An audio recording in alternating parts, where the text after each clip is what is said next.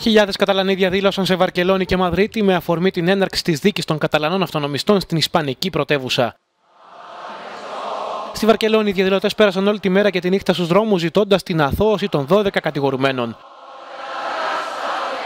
Κάποιοι εξ αυτών μάλιστα έβαλαν φωτιά σε λάστιχα, αποκλείοντας για λίγη ώρα τον αυτοκινητόδρομο που οδηγεί στη Βαρκελόνη.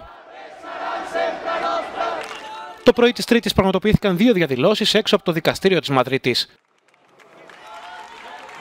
Αρχικά, υπό δρακόντια μέτρα ασφαλείας συγκεντρώθηκαν Καταλανοί που ζητούν την αθώωση των αυτονομιστών, λέγοντας πως όταν ο νόμος είναι άδικος, η επανάσταση είναι καθήκον.